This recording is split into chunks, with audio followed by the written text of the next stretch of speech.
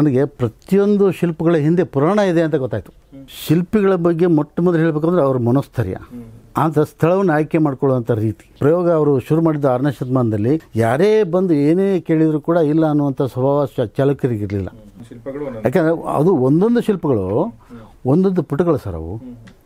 ಇವರಿಗೆ ಕಲಾವಿದರಿಗೆ ಒಂದು ಸೊಕ್ಕು ಮತ್ತು ಗರ್ವ ಮತ್ತು ಹೆಮ್ಮೆ ಇರ್ತದೆ.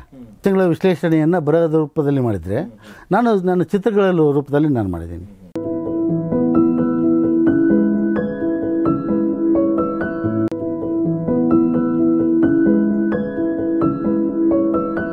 ನಮಸ್ಕಾರ. ಗೌರಿ ಶಾಖೆ ಸ್ಟುಡಿಯೋದ ವಿಶೇಷ ಕಾರ್ಯಕ್ರಮ ಹೊಸ ಪುಸ್ತಕ. ನಿಮಗೆಲ್ಲ ಆತ್ಮೀಯ ಸ್ವಾಗತ. ನಾನು ಗೌರೀಶ್ ಶಾಖಿ. ಸ್ನೇಹಿತರೆ, ಹೊಸ ಪುಸ್ತಕಗಳಲ್ಲಿ ನಾವು ಇತ್ತೀಚೆಗೆ ಪಬ್ಲಿಷ್ ಆದಂಥ ಮತ್ತು ನಾವೆಲ್ಲ ಓದಲೇಬೇಕಾದಂಥ, ಗಮನಿಸಲೇಬೇಕಾದಂಥ ಪುಸ್ತಕಗಳ ಬಗ್ಗೆ ಮಾತಾಡ್ತೀವಿ. ಸೊ ಹಾಗಾದರೆ ಬನ್ನಿ ಇವತ್ತಿನ ಪುಸ್ತಕ ಯಾವುದು ಮತ್ತು ಈ ಪುಸ್ತಕದ ಲೇಖಕ ಯಾರು ಅನ್ನೋದನ್ನು ಈಗ ನೋಡೋಣ. ನಾವು ಇವತ್ತು ನಿಮಗೆ ಪರಿಚಯ ಮಾಡ್ತಿರೋಂಥ ಪುಸ್ತಕ ಯಾವುದು ಅಂತಂದರೆ ಅದು ಚಾಲುಕ್ಯರ ಶಿಲ್ಪಕಲೆ ಮುಖಪುಟದಲ್ಲಿ ಕಾಣಿಸ್ತಾ ಇದೆ ನಿಮಗೆ. ಎಸ್ ಇದರ ಲೇಖಕ ಯಾರು ಅಂತ ನಾನು ಒಂದ್ಸಲ ತೋರಿಸ್ಬಿಡ್ತೀನಿ, ದಯವಿಟ್ಟು ನೋಡಿ. ಎಸ್ ಶ್ರೀ ಪುಂಡಲೀಕ ಕಲ್ಲಿಗನೂರು, ಅವ್ರ ಫೋಟೋ ನೋಡ್ತಾ ಇದ್ದೀರಾ ನೀವು?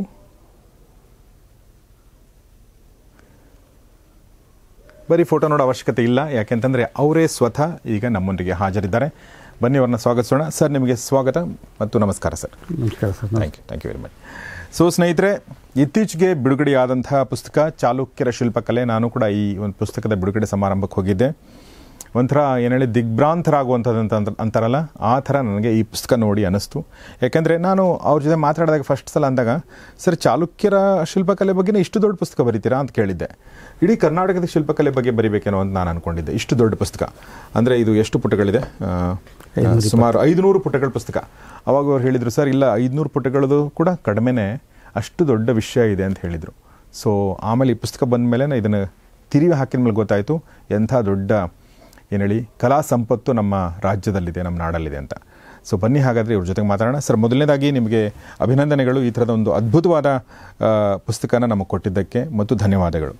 ತುಂಬ ತುಂಬ ಧನ್ಯವಾದಗಳು sir thank you very much sir ತಾವು ಕಾರ್ಯಕ್ರಮಕ್ಕೆ ಬಂದಿದ್ರಿ. ನಾನು ಅದ್ರ ಭಾಳ ಒಳ್ಳೆಯ ಮಾತು ಮಾತಾಡಿದ್ರಿ.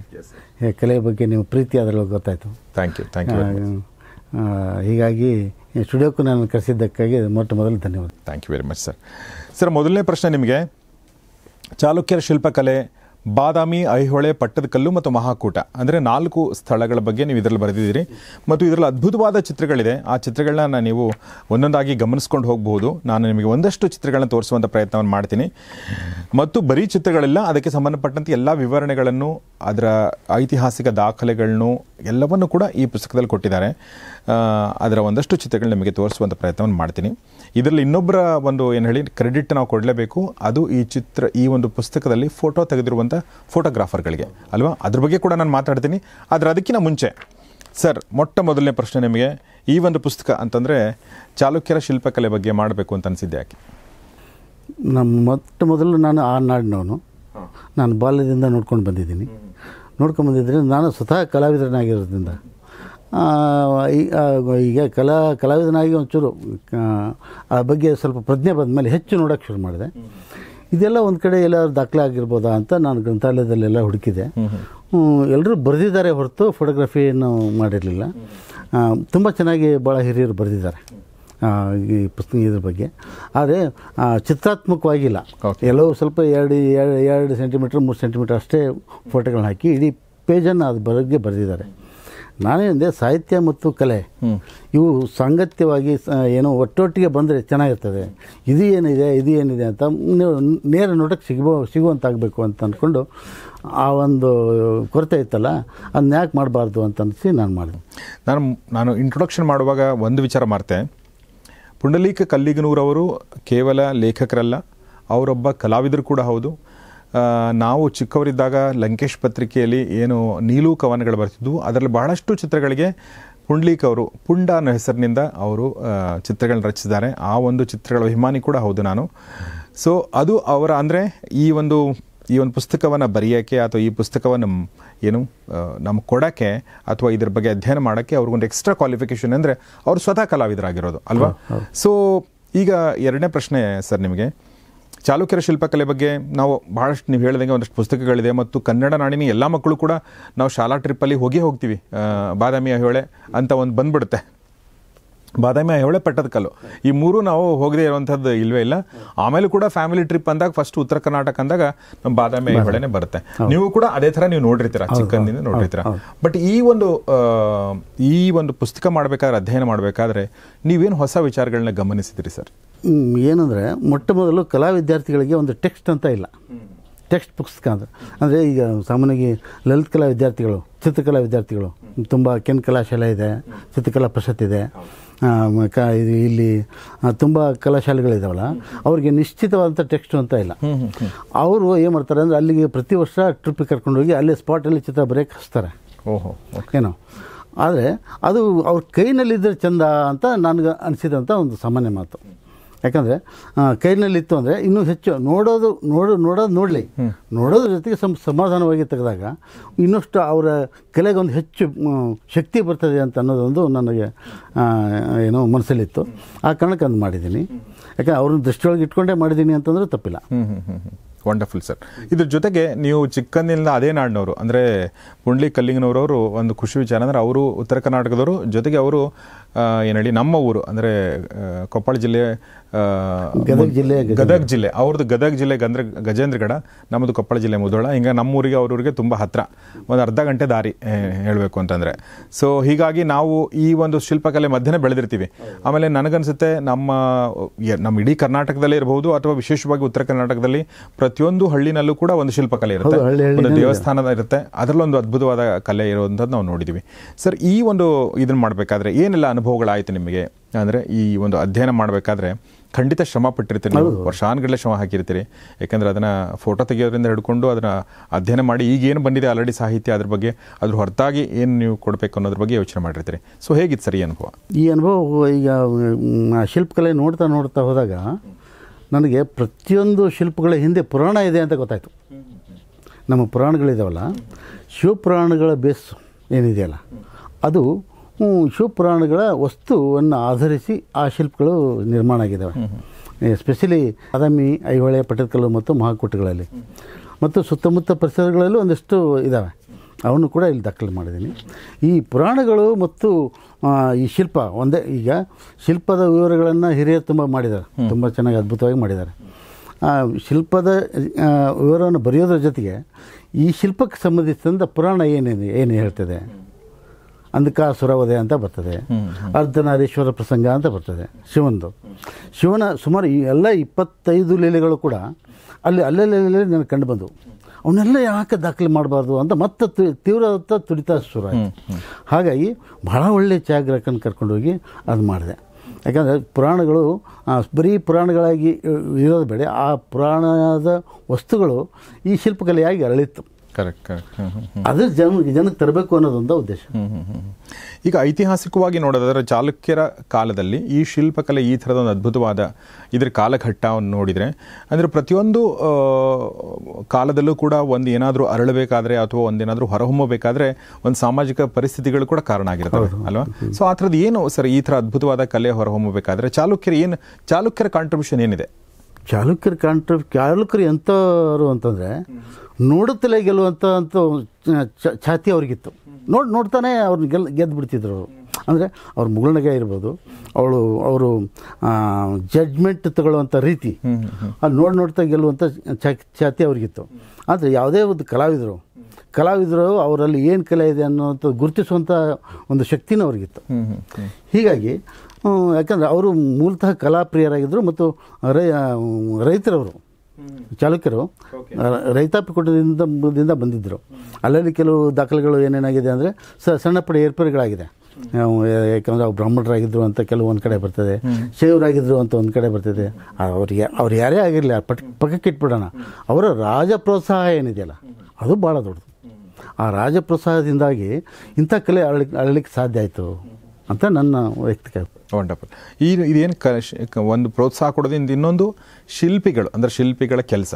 ಓಕೆ ಈ ಒಂದು ಆಮೇಲೆ ಅದಕ್ಕೆ ಬಳಸುವಂಥ ಕಲ್ಲುಗಳು ಅಂದ್ರೆ ಬೆಟ್ಟದಲ್ಲೇ ಕೊರೆದಿರುವಂಥದ್ದು ಬಹಳಷ್ಟು ಇದೆ ಅದರಲ್ಲಿ. ಹೌದು, ಖಂಡಿತ ಕರೆಕ್ಟ್. ಸೊ ಅದ್ರ ಬಗ್ಗೆ ಅಂದ್ರೆ ಆ ಶಿಲ್ಪಿಗಳ ಬಗ್ಗೆ ಏನು ಹೇಳಕ್ ಇಷ್ಟಪಡ್ತೀರಿ? ಶಿಲ್ಪಿಗಳ ಬಗ್ಗೆ ಮೊಟ್ಟ ಮೊದಲು ಹೇಳಬೇಕಂದ್ರೆ ಅವ್ರ ಮನೋಸ್ಥೈರ್ಯ. ಅಂತ ಸ್ಥಳವನ್ನು ಆಯ್ಕೆ ಮಾಡ್ಕೊಳ್ಳುವಂಥ ರೀತಿ. ಯಾವ ಸ್ಥಳದಲ್ಲಿ ಏನಿದೆ ಅಂತ. ಯಾಕಂದರೆ ಮೊಟ್ಟ ಮೊದಲು ಅದು ಪ್ರಯೋಗ ಅವರು ಶುರು ಮಾಡಿದ ಆರನೇ ಶತಮಾನದಲ್ಲಿ ಕಾಲ್ಕಲೇಶ್ವರ ಅಂತ ನಾವು ನಮ್ಮ ಅಲ್ಲಿ ಮೊದಲ ಪ್ರಯೋಗ ನಡೀತಿದೆ. ಅಲ್ಲಿ ಕಲ್ಲು ಸಪೋರ್ಟ್ ಮಾಡೋದಿಲ್ಲ. ತುಂಬ ಹಾ ಕಾಡುಗಳಿದೆ. ಅಲ್ಲೂ ಕೂಡ ಅರಬರಿಯಾದ ಶಿಲ್ಪಗಳಿದ್ದಾವೆ ಯಾವುವು ಅಂತಂದರೆ ಬ್ರಹ್ಮಂದು ವಿಷ್ಣುವುದು ಶಿವನದು. ಅಲ್ಲಿ ಗವಿ ಇದೆ ಒಂದು. ಕಾಲ್ಕಲೇಶ್ವರನಲ್ಲಿ. ಆ ಗವಿಯಲ್ಲಿ ಅದೇ ಇದೆ. ಪಾತಾಳ ಗಂಗೆ ಅಂತ ಕರೀತಾರೆ. ಆನಂತರ ಗೋಡೆ ಮೇಲೆ ಅಲ್ಲೆಲ್ಲ ಶಿವ ನಂದಿ ಶಿವ ನಂದಿ ಹಿಂಗೆ ಸಾಲು ಪಟ್ಟಿಗಳಿದ್ದಾವೆ ಅವೆಲ್ಲ ಅಂದರೆ ಒಂದು ಈಗ ಹಂಗ್ ಲೆಕ್ಕ ಹಾಕಿದರೆ ಇವು ಆ ಕಾಲದ ಗ್ರಂಥಗಳು ಅಂತ ನನ್ನ ಅಭಿಪ್ರಾಯ. ಕರೆಕ್ಟ್ ಕರೆಕ್ಟ್ ಯಾಕಂದರೆ ಓದು ಬರಹ ಅನ್ನುವಂಥದ್ದು ಬರಹ ಅನ್ನೋದಿರಲಿಲ್ಲ ಇರಲಿಲ್ಲ ಮಾತಲ್ಲಿ ಇರ್ತಿತ್ತು ಆ ಕಾಲದ ಗ್ರಂಥಗಳು ಜನರ ಸಾಮಾನ್ಯ ತಿಳಿಸ್ಬೇಕು ಅನ್ನೋದ್ರ ಉದ್ದೇಶದಿಂದ. ಮೊದಲೇ ಅವರು ದೃಶ್ಯವನ್ನು ಕಂಡಿದ್ರು. ಇದು ಜನರಿಗೆ ತಿಳಿಸಿರಪ್ಪ ಹೆಚ್ಚು ಒಳ್ಳೆಯದು ಯಾಕಂದ್ರೆ ಕಿವಿಯಿಂದ ಕಿವಿಗೆ ಬಾಯಿಂದ ಬಾಯಿಗೆ ಹರಡ್ತಾ ಇತ್ತಲ್ಲ. ಆ ಕಾರಣಕ್ಕೆ ಸರಿಯಾದ ಸ್ಥಪತಿಗಳು ಸಿಕ್ಕಿರ್ಬೋದು ಅವ್ರಿಗೆ. ನೀವು ಕಾಲ್ ಕಾಲೇಶ್ವರ ಅಂದಾಗ ನಂಗೆ ನೆನ್ ಬಂತು. ಇದು ಗಜೇಂದ್ರಗಢ ಹತ್ ಗಜೇಂದ್ರಗಢಕ್ಕೆ ಹತ್ಕೊಂಡು ಅಲ್ಲ ಸರ್ ಹೌದು, ಇರೋದು? ಹತ್ತು, ನಾವು ಪ್ರತಿ ಸಲ ನಾವು ಚಿಕ್ಕವರಿದ್ದಾಗ ನಾನು ನೆನಪು ಬರುತ್ತೆ. ನಮ್ಮ ಊರಿಂದ ನಾವು ಬಂಡಿ ಕಟ್ಕೊಂಡು ಕಳಕಪ್ಪನ ಗುಡ್ಡ ಅಂತ ನಾವು ಕರೆಯೋದು. ಕಾಲ ಕಾಲೇಶ್ವರ ಅಂತ ಅಂತಾರೆ. ಅಲ್ಲಿ ಹೋಗಿ ಆ ಒಂದು ನೀವು ಹೇಳ್ದಂಗೆ ಆ ಒಂದು ಗವಿ ಇದೆಯಲ್ಲ ಯಾವ್ದು ಹೇಳಿ ಸರ್ ಅದು ಕಾಲ ಕಾಲೇಶ್ವರ ಗವಿನ ಅದು. ಹಾ ಅಲ್ಲಿ ಮೇಲ್ ಹೋಗಿ ದೇವಾಲಯ. ಗುಹಾಂತರ ದೇವಾಲಯ ಅಲ್ಲಿ ಹೋಗಿ ನೀರೆಲ್ಲ ತಗೊಂಡು ಊಟ ಗಿಟ ಮಾಡಿ ಅಲ್ಲಿ ಅಲ್ಲಿ ಪೂಜೆ ಏನೋ ಮಾಡಿ ಬರೋದು ನೆನಪಿದೆ ನನಗೆ. ಸೊ ಅದು ಒಂದು ಅದ್ಭುತವಾದ ನೀವು ಹೇಳಿದಂಗೆ ಅಲ್ಲೊಂದು ಎಕ್ಸ್ಪೆರಿಮೆಂಟ್ ಮಾಡಿದ್ರು ಬಟ್ ಅಲ್ಲಿ ಆಗಲಿಲ್ಲ. ಅಲ್ಲಿ ಕಲ್ಲುಗಳು ಒಲಿಲಿಲ್ಲ ಅವ್ರಿಗೆ. ಒಲಿಲಿಲ್ಲ ಅಂದರೆ ಅದು ಹಾರ್ಡ್ ಕಲ್ಲು. ಹಾಡು ಮರಳು ಮರಳು ಕಲ್ಲಲ್ಲ ಅದು. ತುಂಬ ಹಾರ್ಡಾದಂಥ ಹೀಗಾಗಿ ಐಹೊಳೆಗೆ ಹೋದರು. ಐಹೊಳೆಯಲ್ಲಿ ಅವ್ರಿಗೆ ಮ್, ಪ್ರಶಸ್ತಿವಂತ ಜಾಗ ಸಿಕ್ತು. ಮೊದಲು ಯಾಕಂದರೆ ಗುಹೆಯನ್ನು ಕೊರೆದು ಅಲ್ಲಿ ಎಲ್ಲ ದೇವಾಲಯವನ್ನು ನಿರ್ಮಾಣ ಪ್ರತ್ಯೇಕವಾಗಿ ದುಬ ದೇವಾಲಯ ಕಟ್ಟಬೇಕು ಅನ್ನೋಂಥ ಕಾನ್ಸೆಪ್ಟೇ ಇರಲಿಲ್ಲ. ಯಾಕಂದರೆ ಅಲ್ಲಿವರೆಗೂ ಗಿಡ ಮರ ಬಳ್ಳಿ ಸೂರ್ಯ ಚಂದ್ರ ಇವು- ಇದು ಮಾತ್ರ ಆರಾಧ್ಯ ದೇವರಾಗಿದ್ದವು. ಪುರಾಣದಲ್ಲಿ ಏನು ಕೆಲವು ಕಥೆಗಳು ಬರ್ತಾವಲ್ಲ ಅದನ್ನು ಚಿತ್ರರೂಪಕ್ಕೆ ಫಸ್ಟ್ ಇಳಿಸಿದ್ದೇ ಬಾದಾಮಿಯ ಈ ಶಿವನ ಮುಕ್ಪಟ್ಟಕ್ಕೆ ಹಾಕಿದ್ದೀನಲ್ಲ ಇದು. ಇದು ಮೊದಲು ಶಿವನ ರೂಪ ಕೊಟ್ಟಂಥ ಶಿಲ್ಪ ಅದು. ಇದು ಶಿಲ್ಪಿಗಳ ಬಗ್ಗೆ ಮತ್ತು ಕಾಲಮಾನದ ಬಗ್ಗೆ ಮಾತಾಡಿದ್ದೀವಿ. ಇದರ ಜೊತೆಗೆ ಅಂತಂದ್ರೆ ನಾನು ಹೇಳೋದು? ನೀವು ಹೇಳ್ದಂಗೆ ಪುರಾಣಗಳ ಕಥೆಗಳನ್ನ ಆಧರಿಸಿ ಕೂಡ ಮಾಡಿದ್ದಾರೆ ಅಂತ ತಾವು ಹೇಳಿದ್ರಿ. ಜೊತೆಗೆ ಸಾಮಾಜಿಕವಾದ ಒಂದಷ್ಟು ಚಿತ್ರಗಳು ಕೂಡ ಅಂದ್ರೆ ಸರಸ ಸಲ್ಲಾಪದು ಮದನಿಕಿಯರದ ಒಂದಷ್ಟು ಕೂಡ ಇದೆ. ಸೊ ಅದು ಕಾಲಮಾನದ ಬಗ್ಗೆ ಮತ್ತು ಆ ಒಂದು ಏನು ಹೇಳಿ ಆ ಒಂದು ಸಾಮ್ರಾಜ್ಯದ ಬಗ್ಗೆ ಏನು ಹೇಳುತ್ತೆ ಈ ತರದ ಚಿತ್ರಗಳೆಲ್ಲ? ಜನಾನುರಾಗಿ ಆಡಳಿತ ಆಗಿತ್ತು. ಅವ್ರ ಆಡಳಿತನ ಏನಾದರೆ ಜನಪಯೋಗಿ ಜನಾನುರಾಗಿ ಆಗಿತ್ತು. ಯಾರೇ ಬಂದು ಏನೇ ಕೇಳಿದರೂ ಕೂಡ ಇಲ್ಲ ಅನ್ನುವಂಥ ಸ್ವಭಾವ ಚಾಲಕರಿಗಿರಲಿಲ್ಲ. ಹೀಗಾಗಿ ಕಲೆ ಅರಳಕ್ಕೆ ಸಾಧ್ಯ ಆಯಿತು ಮತ್ತು ಅಲ್ಲಿ ಸಂಸ್ಕೃತಿ ಅರಳಕ್ಕೂ ಸಾಧ್ಯ ಆಯಿತು. Okay okay okay. ಸಂಸ್ಕೃತಿ ಅನ್ನುವಂಥದ್ದು ಜನಸಾಮಾನ್ಯರಲ್ಲೇ ಏನು ಇದು ಇರ್ತಲ್ಲ ಅವ್ರ ಜನಸಾಮಾನ್ಯರ ಬದುಕು ಕೂಡ ಅದರಲ್ಲಿ ಚಿತ್ರಿತ ಆಗಿದ್ದಾವೆ. ಏನಂದರೆ ಜನಸಾಮಾನ್ಯರ ಯಾರು ಅಂತಂದರೆ ಈಗ ರಾಜ ರಾಣಿಯರ ಸರಸಲಪಗಳು ಶಿಲ್ಪಗಳು ಅಲ್ಲಿದ್ದಾವೆ. ಹೌದು. ಸೈನಿಕ ಮತ್ತು ಸೈನಿಕನ ಹೆಂಡತಿಯ ಅಥವಾ ಸೈನಿಕನ ಪ್ರೇಯಸಿಯ ಶಿಲ್ಪಗಳು ಅದರಲ್ಲಿದ್ದಾವೆ. ಅದ್ರ ಜೊತೆ ಜೊತೆಗೇ ರೈತಾಪಿ ಜನಾಂಗ ಯುವ ಪೀಳಿಗೆ ಏನಿದೆ ಏನು ರೈತರಿಲ್ಲ. ಆ- ರೈತರ ಏನು ಪ್ರಣಯ ಪ್ರಸಂಗಗಳು ಅದರಲ್ಲಿದ್ದಾವೆ.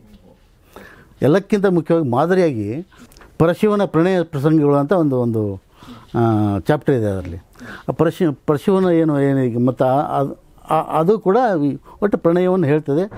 ಈ ಅರ್ಧನಾರೇಶ್ವರ ಕಲ್ಪನೆ ಕೂಡ ಅದೇ. ಹ್ಮ್ ನಾರೇಶ್ವರ ಹ್ಮ್. ಕಲ್ಪನೆ ಇದು- ಆ ಥರ ಹೇಳ್ತದೆ. ವಂಡರ್ಫುಲ್ ಈಗ ನಾನು ಸುಮ್ಮನೆ ಈ ಒಂದು ಪುಸ್ತಕದಲ್ಲಿರುವಂಥ ಒಂದಷ್ಟು ಏನು ಹೇಳಿ ಶೀರ್ಷಿಕೆಗಳನ್ನ ನೋಡ್ತಾ ಹೋಗ್ತೀನಿ. ಮತ್ತು ಇವ್ರ ಫೇವ್ರೆಟ್ ಶಿಲ್ಪಕಲೆ ಯಾವುದು ಅನ್ನೋದ್ರ ಬಗ್ಗೆ- ಬಗ್ಗೆನೂ ಕೇಳ್ತೀನಿ.